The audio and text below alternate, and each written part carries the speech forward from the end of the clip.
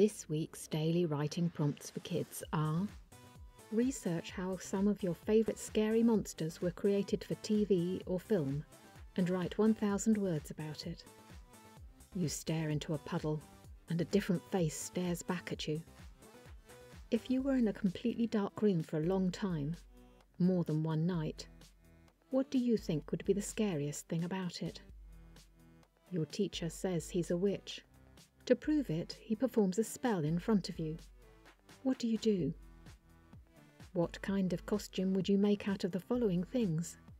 A toilet roll, a pair of googly eyes, green paint, a pillowcase, and a newspaper.